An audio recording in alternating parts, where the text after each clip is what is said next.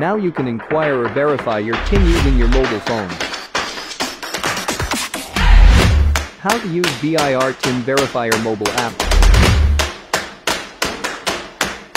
Download the BIR TIN Verifier mobile app on App Store or Play Store.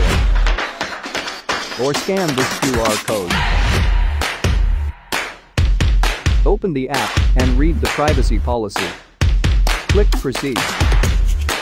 Click the TIN Verifier icon and read the disclaimer. Next, select Transaction. TIN Inquiry if you want to know your TIN, or TIN Validation if you want to verify your TIN. You will be asked to provide your basic information and a selfie together with your valid government ID.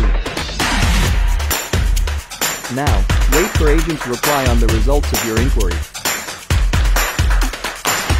For more tax updates, please like and visit our official Facebook page, BIR Cotabato City. Tunghayan, matuto at makialam.